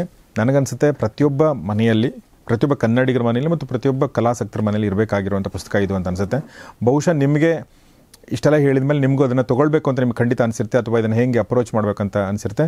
ದಯವಿಟ್ಟು ಡಿಸ್ಕ್ರಿಪ್ಷನಲ್ಲಿ ಹೋಗಿ ನಾನು ಪುಂಡ್ಲಿ ಕಲ್ಲಿಗನೂರವರ ಫೋನ್ ನಂಬರ್ನೇ ಅಲ್ಲಿ ಕೊಟ್ಟಿದ್ದೀನಿ. ಸೊ ದಯವಿಟ್ಟು ಅವ್ರನ್ನ ಸಂಪರ್ಕಿಸಿ ಅವ್ರ ಮೂಲಕನೇ ನೀವು ಇದನ್ನು ತೊಗೊಳ್ಬಹುದು. ಇದು ನಾವು ಶಿಲ್ಪಕಲೆ ಅಂದರೆ ಚಾಲುಕ್ಯರ ಶಿಲ್ಪಕಲೆ ಬಗ್ಗೆ ಮಾತಾಡಿರುವಂಥದ್ದು. ಒಂದು ಅದ್ಭುತವಾದ ಪುಸ್ತಕ. ಇದರ ಫೋಟೋಗಳು ನೋಡ್ತಾ ಇದ್ದರೆ ನೀವು ಏನು ಹೇಳಿ ಸುಮ್ಮನೆ ನೋಡ್ತಾ ಇರಬೇಕು ಅಂತ ಅಷ್ಟೇ ಬೇರೆ ಏನೂ ಹೇಳೋಕ್ಕಾಗಲ್ಲ. ಅಷ್ಟೊಂದು ಅದ್ಭುತವಾಗಿದೆ. ಸೊ ಇದು ನಮ್ಮ ಪುಂಡ್ಲಿಕ್ ಕಲ್ಲಿಗನೂರವರ ಚಾಲುಕ್ಯರ ಶಿಲ್ಪಕಲೆ ಪುಸ್ತಕದ ಕುರಿತಾದ ಒಂದು ಪ್ರಸಂಗ ಅಂತ ಹೇಳ್ಬೋದು. ಆದರೆ ಪುಂಡ್ಲಿಕ್ ಅವರು ನಾನು ಈಗಾಗಲೇ ಹೇಳಿರುವಾಗೆ ಸ್ವತಃ ಕಲಾವಿದರು. ಮತ್ತು ಇದೇ ಮೊದಲನೇ ಪುಸ್ತಕ ಏನು ಬರೆದಿಲ್ಲ ಅವರು? ಶಿಲ್ಪಕಲೆ ಬಗ್ಗೆ ಆಗಲಿ ಅಥವಾ ಚಿತ್ರಗಳ ಬಗ್ಗೆ ಆಗಲಿ ಅದಕ್ಕಿಂತ ಮುಂಚೆ ಕೂಡ ಪುಸ್ತಕಗಳು ಬರೆದಿದ್ದಾರೆ. ಸೊ ಹೀಗಾಗಿ ಚಿಕ್ಕದಾಗಿ ನಾವು ಅವರು ಬೇರೆಲ್ಲ ಯಾವ ಪುಸ್ತಕಗಳು ಬರೆದಿದ್ದಾರೆ ಅದನ್ನು ಸಲ ಗಮನಿಸೋಣ ಇದು ರೇಖಾನುಸಂಧಾನ ಅಂಥೇಳಿ ಪುಸ್ತಕ ಪುಂಡ್ಲಿಕ್ ಅವ್ರದ್ದು ಒಂದ್ಸಲ ಗಮನಿಸ್ಕೊಂಬಿಡಿ. ಇದು ನೀವು ಬರೆದಿರುವಂಥ ಎಲ್ಲ ರೇಖಾ ಚಿತ್ರಗಳು ಎಲ್ಲ ಅಲ್ಲ. ಅಲ್ಲಲ್ಲಿ ಸ್ವಲ್ಪ ಆಯ್ದ. ಪ್ರಾತಿನಿಧಿಕ. ಹಾಂ ಪ್ರಾತಿನಿಧಿಕ ಸಂಕಲನ. ಚಿತ್ರಗಳನ್ನ ಅವರು ಇದರಲ್ಲಿ ಕೊಟ್ಟಿದ್ದಾರೆ. ಅಂದರೆ ಲಂಕೇಶ್ ಪತ್ರಿಕೆಗೆ ಬರೆದೆ ಹತ್ತೊಂಬತ್ತು ತೊಂಬತ್ತರಿಂದ ತೊಂಬತ್ತೈದು ಹಾಯ್ ಬೆಂಗಳೂರು ಪತ್ರಿಕೆಗೆ ತೊಂಬತ್ತೈದರಿಂದ ಎರಡು ಸಾವಿರಕ್ಕೆ ಹಾಯ್ ಬೆಂಗಳೂರು ತಿರ್ಗಾ ಲಂಕೇಶ್ ಪತ್ರಿಕೆ ಎರಡು ಸಾವಿರದಿಂದ ಎರಡು ಸಾವಿರದ ಐದರವರೆಗೂ ಮಾಡಿದೆ. ಆನಂತರ ಕರವೇಲ್ ನನ್ನ ನುಡಿ ಅಗ್ನಿಗೆ ಸುಧಾ ಮಯೂರಕ್ಕೆ ಪ್ರಜಾವಾಣಿಗೆ ಕನ್ನಡ ಪ್ರಭಕ್ಕೆ ಈ ಬೇರೆ ಬೇರೆ ಅವಕಾಶಗಳು ನನಗೆ ಸಿಕ್ಕು. ಅವನ್ನೆಲ್ಲ ಒಂದು ಕಡೆ ಅಲ್ಲಿ ಅಲ್ಲಲ್ಲಿಯೇ ಅಲ್ಲಲ್ಲಿಯೇ ಆಯ್ದ ಕೆಲವು ಚಿತ್ರಗಳನ್ನ ಒಂದಷ್ಟು ದಾಖಲೆ ಮಾಡ್ಕೊಂಡು ಬಂದಿದ್ದೀನಿ. ವಿಶೇಷವಾಗಿ ನೀಲು ಚಿತ್ರಗಳು ಅದರಲ್ಲಿ ತುಂಬ ಇದ್ದಾವೆ ಈ ಈ ಒಂದು ರೇಖೆಗಳ ಈ ರೇಖೆಗಳ ಏನು ಸರ್ ಗಮ್ಮತ್ತು? ಇದರಷ್ಟು ಅಂದರೆ ಸುಮ್ಮನೆ ಕೈಯಲ್ಲಿ ಜಾದು ಇದೆ ಅಂತ ಅನ್ಸುತ್ತೆ ನೋಡ್ತಾ ಇದ್ದೆ ಹೇಗೆ ಒಲೆದಿದ್ದು ನಿಮಗೆ? ಸುಮ್ಮನೆ ಕೇಳೋದಾದ್ರೆ. ಇದು ನಾನು ಯಾವುದೋ ಶಾಲಾ ಕಾಲೇಜಿಗೆ ಇದು ಕಾಲೇಜಿಗೆ ಹೋದವನಲ್ಲ. ನನ್ನ ಏನೋ ಹವ್ಯಾಸದಿಂದ ಬೆಳೆಸ್ಕೊಂಡಿರುವಂಥದ್ದು. ನಾನು ಗ್ರಂಥಾಲಯ ಇಲಾಖೆಯಲ್ಲಿ ಕೆಲಸ ಮಾಡಿದನು ಗ್ರಂಥಾಲಯ ಅನ್ನೋಂಥದ್ದು ನನಗೆ, ಅದರಲ್ಲಿ ಎಲ್ಲ ಕಲಾವಿದರ ರೇಖಾಚಿತ್ರಗಳನ್ನ ನಾನು ನೋಡ್ತಿದ್ದೆ. ಸಾಪ್ತಾಹಿಕ ಪ್ರವಣಿ ಬರ್ತಿದ್ವು ಆವಾಗ. ಪ್ರತಿಯೊಂದು ಪತ್ರಿಕೆನೂ ಸಾಪ್ತಾಹಿಕ ಪ್ರವಣಿ ಬಿತ್ತು ಅವನ್ನೆಲ್ಲ ನೋಡುವಾಗ ನನಗನಿಸ್ತಿತ್ತು. ಆವಾಗ ಮೊದಲು ಕಾರ್ಟೂನ್ ಬರೋಕ್ಕೆ ಶುರು ಮಾಡಿದೆ. ಆದರೆ ಈ ರೇಖೆ ಕಡಿಮೆ ಒಮ್ಮೆ ಅಕಸ್ಮಾತ್ ಲಂಕೇಶ್ವರ ಪರಿಚಯ ಆಗೋಯ್ತು.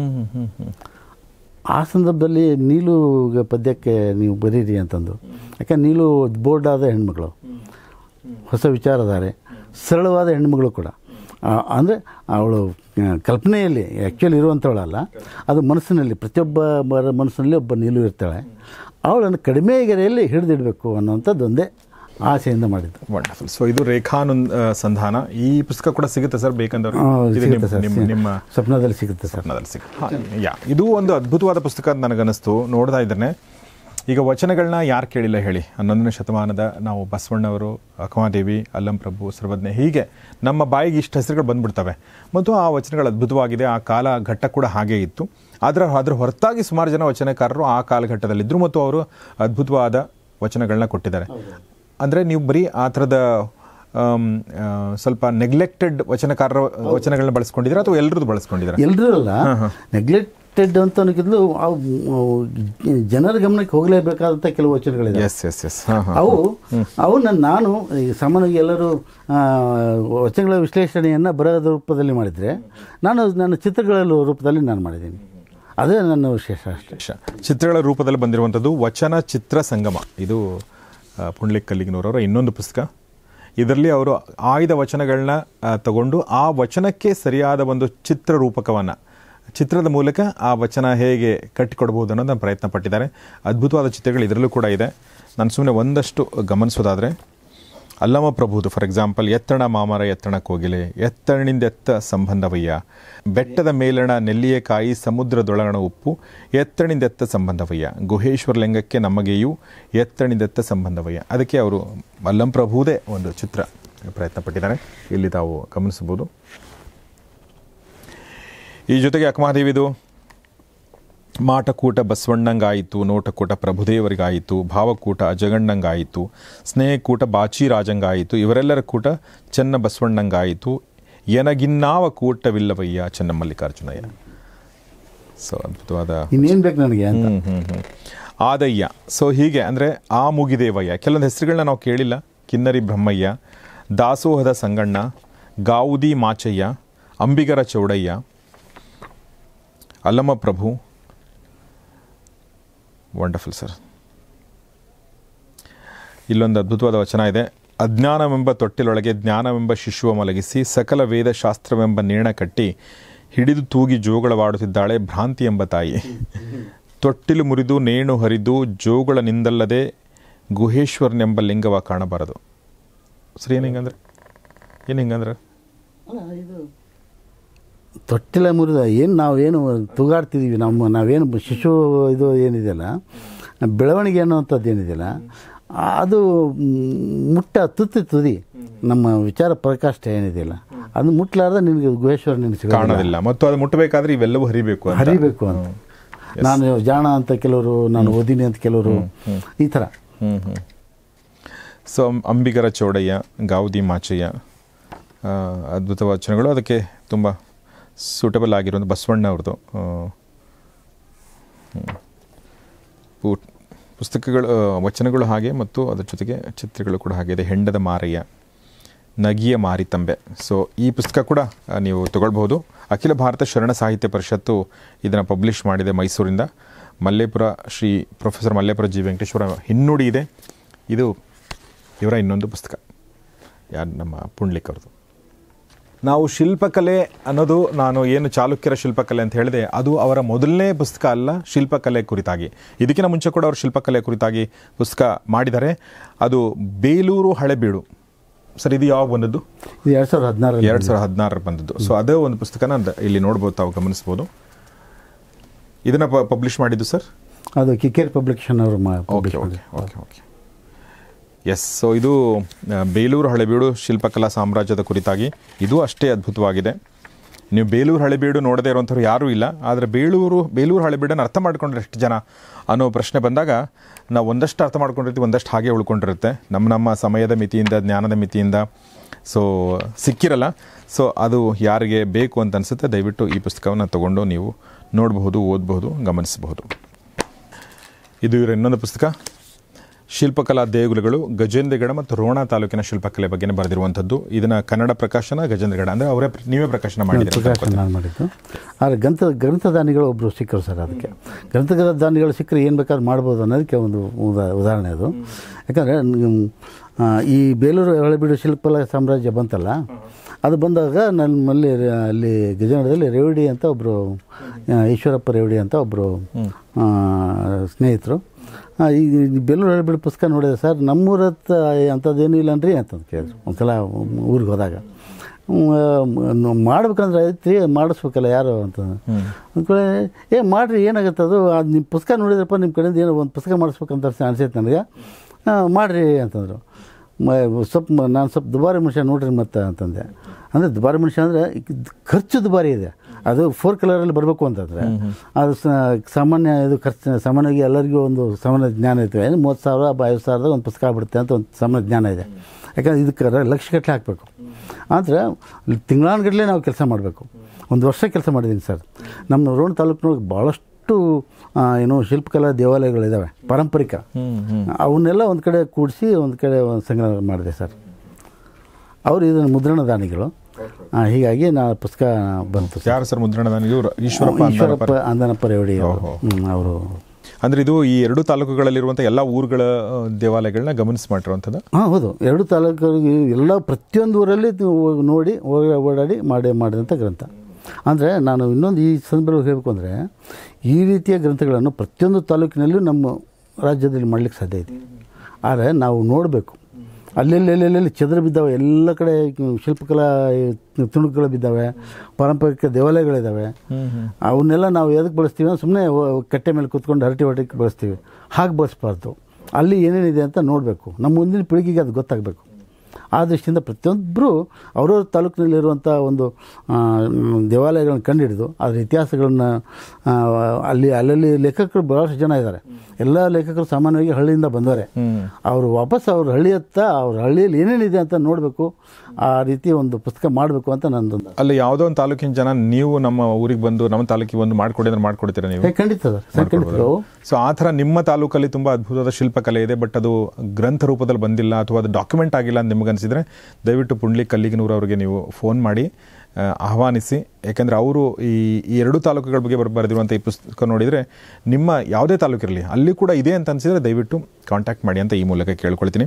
ಇದರಲ್ಲೊಂದು ಚಿತ್ರ ಇದೆ ಸುಮ್ಮನೆ ನಾನು ಗಮನಿಸ್ತಾ ಇದ್ದೆ. ಅಂದರೆ ಇಲ್ಲಿ ರೈತರು ಹೊಲ ಉಳ್ತಾ ಇದ್ದಾರೆ ಅದರ ಪಕ್ಕದಲ್ಲಿ ಒಂದು ಕೋಟೆ ಇದೆ. ಅಂದರೆ ಒಂದು ರೈತನ ಬದುಕು, ಜನಸಾಮಾನ್ಯನ ಬದುಕು ನಡೀತಾ ಇದೆ. ಅದ್ರ ಪಕ್ಕದಲ್ಲಿ ಒಂದು ಐತಿಹಾಸಿಕ ದಾಖಲೆ ಇದ್ದರೂ ಕೂಡ ಅದ್ರ ಬಗ್ಗೆ ಅಂಥ ಒಂದು ಏನು ಹೇಳಿ ಗೊತ್ತಿರಲ್ಲ. ಗೊತ್ತಿರೋದು yes yes yes yes so ಅದು ಒಂದು ಸೊ ಇದು ಗಜೇಂದ್ರಗಡ ರೋಣ ತಾಲೂಕಿನ ತಾಲೂಕಿನ ಶಿಲ್ಪಕಲಾ ದೇಗುಲಗಳು. ಅದರ ವೈಭವವನ್ನು ನೀವು ನೋಡಿದ್ರಿ. ಸೊ ಇದು ನಮ್ಮ ಪುಂಡ್ಲಿ ಕಲ್ಲಿಗನೂರವರ ಸಂಕ್ಷಿಪ್ತ ಪರಿಚಯ ಅವರು ಏನೆಲ್ಲ ಮಾಡಿದ್ದಾರೆ ಅನ್ನೋದ್ರ ಬಗ್ಗೆ. ಸೊ ಈಗ ನಾವು ಅವ್ರನ್ನ ಕರೆಸಿರೋದು ಈ ಚಾಲುಕ್ಯರ ಶಿಲ್ಪಕಲೆ. ಇದ್ರ ಬಗ್ಗೆ ಮಾತಾಡೋಕ್ಕೆ, ಇದ್ರ ಬಗ್ಗೆ ಆಲ್ರೆಡಿ ನಾವು ಮಾತಾಡಿದ್ವಿ. ಸೊ ಈ ಒಂದು ಪುಸ್ತಕ ಅಥವಾ ಯಾವುದೇ ಪುಸ್ತಕ ನಿಮಗೆ ಬೇಕು ಅಂದರೆ ದಯವಿಟ್ಟು ನಮ್ಮ ಡಿಸ್ಕ್ರಿಪ್ಷನಲ್ಲಿ ನಮ್ಮ ಸ್ಕ್ರೀನ್ ಮೇಲೆ ಕೂಡ ಪುಂಡ್ಲಿ ಕಲ್ಲಿಗ್ನವರವರ ನಂಬರ್ ಇದೆ.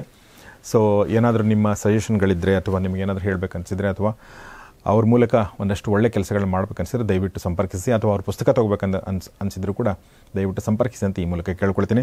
ಸರ್, ಕೊನೆಯದಾಗಿ ತುಂಬ ಮೊದಲನೇದಾಗಿ ನಿಮಗೆ ಈ ಒಂದು ಅದ್ಭುತ ಕೆಲಸ, ಒಂದು ನಾಡಿಗೆ ಸೇವೆ ಅಂತ ನಾವು ಏನಂತೀವಿ, ಆ ಸೇವೆ ಏನಾದರೂ ಇವತ್ತು ಆಗ್ತಾ ಇದೆ ಅಂದರೆ ಅದು ನಿಮ್ಮಿಂದ ನಿಮ್ಮಂಥ ವ್ಯಕ್ತಿಗಳಿಂದ ಆಗ್ತಾ ಇದೆ. ಅದ್ಭುತವಾದ, ಯಾಕೆಂದರೆ ನಾವು ಭಾಳಷ್ಟು ಸಲ ನೋಡ್ತೀವಿ, ಮರಿತೀವಿ. ಆಮೇಲೆ ಇನ್ನೊಂದು ಏನಂದರೆ ನಮ್ಮ ನಾಡಿನ ಬಗ್ಗೆ ಹೆಮ್ಮೆ ಮೂಡಿಸುವಂಥ ಒಂದು ಕೆಲಸಗಳು ಆಗಬೇಕಾಗಿರುತ್ತೆ. ಅದು ಕೂಡ ಈ ಈ ಮೂಲಕ ತುಂಬ ಅದ್ಭುತವಾಗಿ ಆಗ್ತಾ ಇದೆ. ವಿಶೇಷವಾಗಿ ಹೊಸ ತ, ತಲೆಮಾರಿಗೆ ಈ ಥರ ಪುಸ್ತಕಗಳು ಸಿಕ್ಕಾಗೋ ಇಷ್ಟೊಂದು ನಮ್ಮೂರಲ್ಲಿ ಇದೆಯಾ ಇಷ್ಟೊಂದು ಇದೆಯಾ ಹೀಗೆ ಒಂದು ಆಶ್ಚರ್ಯ ಖಂಡಿತ ಆಗುತ್ತೆ. ಸೊ ಆ ದೃಷ್ಟಿಯಿಂದ ನೀವು ಅದ್ಭುತವಾದ ಕೆಲಸ ಮಾಡ್ತಾ ಇದ್ದೀರಿ. ನನ್ನ ನಮ್ಮ ಜೊತೆ ಇಷ್ಟೊತ್ತು ಹೊಸ ಪುಸ್ತಕ ಕಾರ್ಯಕ್ರಮದಲ್ಲಿ ಮಾತಾಡಿದ್ದಕ್ಕೆ ನಿಮಗೆ ತುಂಬ ತುಂಬ ಧನ್ಯವಾದ sir. Thank you very much ತಮಗೂ ಕೂಡ ಧನ್ಯವಾದಗಳು ಸರ್. ಯಾಕಂದರೆ ಶಿಲ್ಪಕಲೆ ಬಗ್ಗೆ ಅಷ್ಟೊಂದು ಪ್ರೀತಿಯನ್ನು ಇಟ್ಕೊಂಡು ಶಿಲ್ಪಕಲೆ ಬಗ್ಗೆ ಪ್ರೀತಿಯನ್ನು ಇಟ್ಕೊಳ್ಳೋದಂದರೆ ಸಂಸ್ಕೃತಿ ಬಗ್ಗೆ ಪ್ರೀತಿ ಇಟ್ಕೊಂಡಂಗೆ. ಈ ಈ ಸಂಸ್ಕೃತಿ ಎಲ್ಲ ಕಡೆ ಹರಡಲಿ, ಎಲ್ಲರಿಗೂ ಯುವ ಪೀಳಿಗೆ ಗೊತ್ತಾಗಲಿ ಅನ್ನೋದೇ ಉದ್ದೇಶ. ಅದನ್ನು ನೀವು ಭಾಳ ಅದ್ಭುತವಾಗಿ ಮಾಡಿಕೊಟ್ಟಿದ್ರಿ. ತಮಗೂ ಕೂಡ ತುಂಬ ತುಂಬ ಧನ್ಯವಾದಗಳು. Sir thank you very much ಚಾಲುಕ್ಯರ ಶಿಲ್ಪಕಲೆ ಈ ಪುಸ್ತಕ ನೀವು ತೊಗೊಳ್ಬೇಕು ಅಂದರೆ ನಾನು ಈಗಾಗಲೇ ಹೇಳಿರುವಾಗೆ ಡಿಸ್ಕ್ರಿಪ್ಷನ್ ಲಿಂಕ್ಸ್ ಇದೆ. ದಯವಿಟ್ಟು ತಗೊಳ್ಳಿ. ಸಪೋರ್ಟ್ ಮಾಡಿ. ಯಾಕೆ ಅಂತಂದರೆ, ಈ ಥರದ ಒಂದು ಏನು ಹೇಳಿ ಶಿಲ್ಪಕಲೆ, ಈ ಥರದ ಕಲೆಗಳ ಬಗ್ಗೆ ಪುಸ್ತಕ ಬರೆದಾಗ ಅದರ, ಅದು ಒಬ್ಬ ಒಬ್ಬ ಲೇಖಕ ಅಥವಾ ಒಬ್ಬ ಒಬ್ಬ ಅದರಿಂದ ಒಂದು ವ್ಯಕ್ತಿ ಒಂದಷ್ಟು ವರ್ಷಗಳನ್ನೇ ಸವಿಸಿರಬೇಕಾಗತ್ತೆ. ಅದು ಕೂತ್ಕೊಂಡು, ಎಲ್ಲೋ ಮೂಲೆಯಲ್ಲಿ ಕೂತ್ಕೊಂಡು ಬರೆಯುವಂಥದ್ದಲ್ಲ. ಅದು ಪ್ರತಿ ಸಲ ಇತಿಹಾಸಕ್ಕೆ ಹೋಗಿ ಹೋಗಿ ಭೇಟಿ ಮಾಡಿ ಮಾಡಿ, ಅಂದರೆ ಆ ಒಂದು ಜೀವನ ಜೀವಿಸ್ಬೇಕಾಗತ್ತೆ. ಈ ಅಂದರೆ ಐದಾರನೇ ಶತಮಾನಕ್ಕೆ ವಾಪಸ್ ಹೋಗಿ ಅಲ್ಲಿ ಜೀವಿಸಿದಾಗ ಮಾತ್ರ ಈ ಥರ ಪುಸ್ತಕಗಳನ್ನ ಬರೆಯೋಕ್ಕೆ ಸಾಧ್ಯ.